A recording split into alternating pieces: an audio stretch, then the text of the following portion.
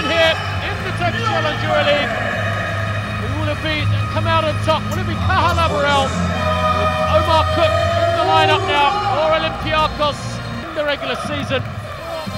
Just shy of double figures, nine a game. Here's the man. Can't so many fans of Olympiacos. Thanks to that winning shot from last season. Now he does penetrate, it's all the way to the ring. Look at Hines on the glass. It and it's good. It's Nocioni, he's got three seconds. Can he get all the way to the ring? He can! Nocioni with the score! Easier shot.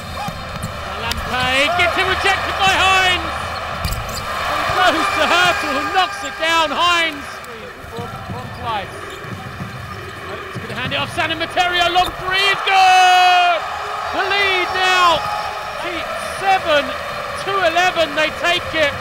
San Emeterio with the three from outside. Into the space, he just cannot find any anywhere on the perimeter. And Jesus gets that push shot to go. Point still. Every time you think that, that was game interesting. Nocioni for three is good.